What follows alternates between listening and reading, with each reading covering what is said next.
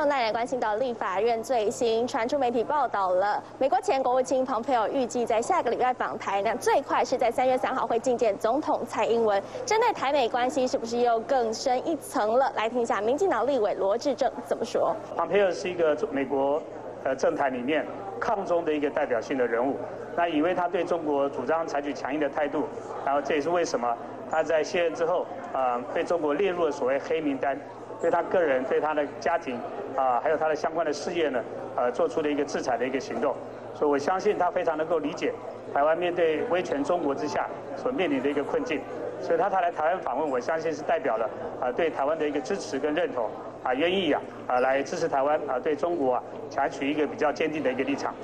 那这个所谓来台湾会不会对他选举加分哈？我想台湾也没那么这个选票了哈。啊，对他，呃，在未来他在党内竞争，甚至未来竞选总统上，有没有太大加分，我不了解。但是我相信，啊，对于台湾来讲。这是一个很大的一个友谊的提出，啊，是一个具体的一个表现，我们非常欢迎。可以听到呢，其实包含了蓬佩奥以及规划办公室主导中国政策的测试余茂春来台，其实两人呢都是抗中具代表的人物。那么他提到了，其实，在蓬佩奥卸任之前呢，就曾经取消了台美关系，包含了行政部门访美以及访台相关的政策线